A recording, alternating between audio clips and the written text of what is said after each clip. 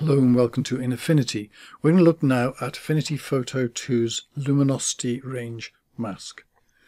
We're going to start off, we've just got a simple pixel layer going from black on one side to white on the other.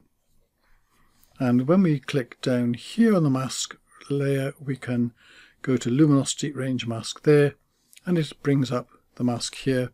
You can also put it in through Layer, New Live Mask Layer and Luminosity Range there.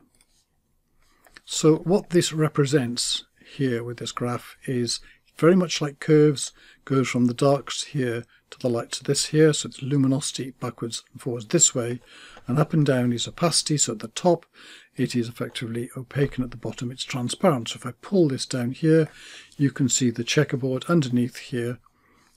For this, make sure by the way document transparent background is on. If you're going to do this, and you can then see through to whatever is below and you can then play around with this and move this up and down here. Notice here, if I go up and this bumps into here, so I've got a straight line here, I get this unwanted effect here.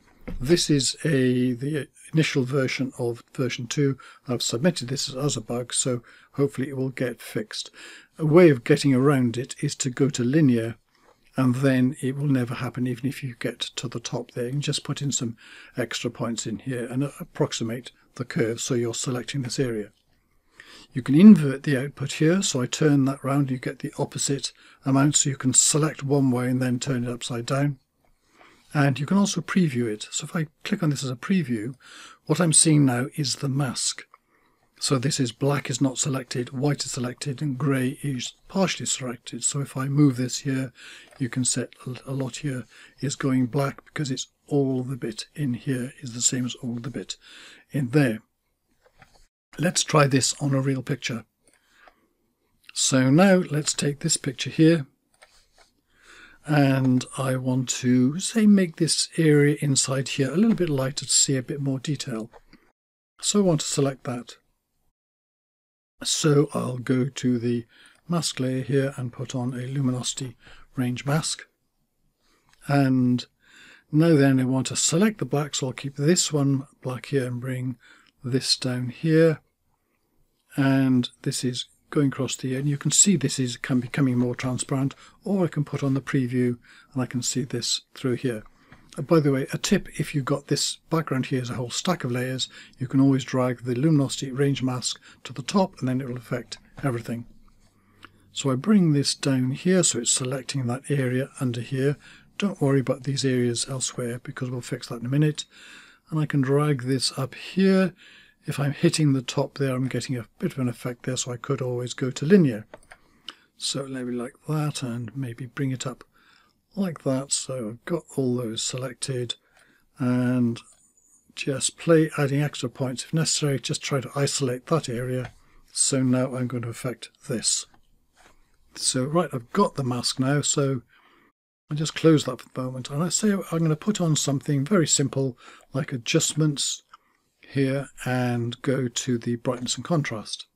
So I want to get these in the right place. So I drag the brightness and contrast onto the image here, the, the thumbnail of the background, and because it's the, uh, the luminosity range mask, and I'm going to drag onto the brightness and contrast. So now if I just open that up with that little greater than there, you can see there's a grey line here to show this is indented, and another grey line here to show this is indented again. So the luminosity range mask is now belongs to the brightness, and the brightness then belongs to the background. So now what we're doing here when we change the brightness and contrast it's only in the selected areas. So if I turn this up to get a bit more brightness here, but I don't want the effects elsewhere. So what I could do is I could add an extra mask here, just a standard mask and paint on that. But an extra trick with this is if I go to the luminosity range mask, because this is in itself a live layer, it's got a built-in mask itself.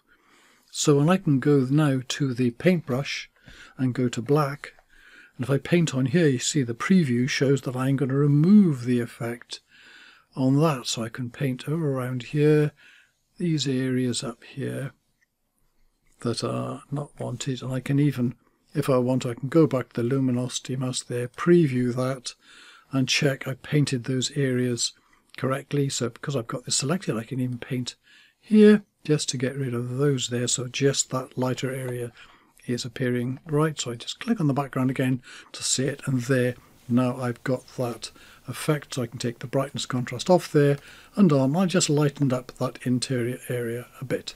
Anyway, that's it and thank you very much for watching.